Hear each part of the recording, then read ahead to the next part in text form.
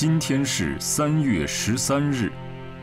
一九三三年的今天，宋哲元率领国民革命军第二十九军，在喜峰口攻陷日军炮兵阵地。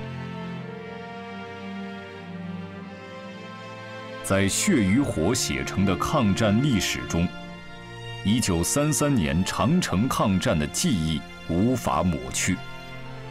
发生在这里的历次战斗中，广为人知的有喜峰口一役。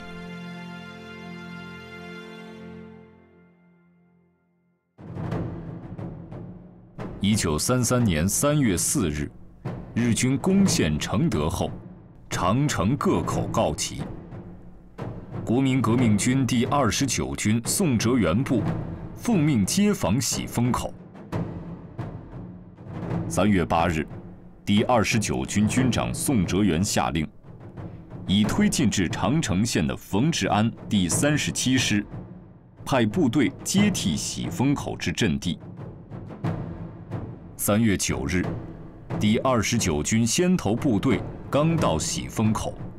日军混成第十四旅团一部已至此，第二十九军一个团立即投入战斗，才暂时稳定战局。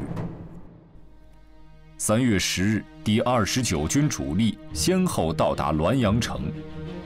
此时，防守喜峰口的中国守军万福林部第五十三军，正在与日军混成第十四旅团交战。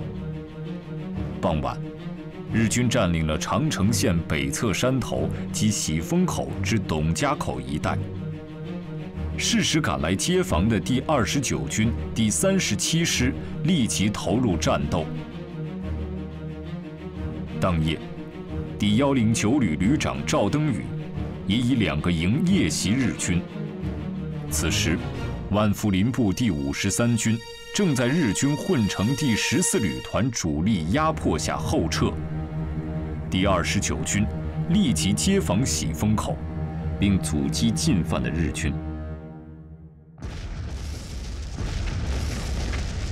日军向喜峰口全线进攻，在飞机大炮掩护下，一度占领西侧高地。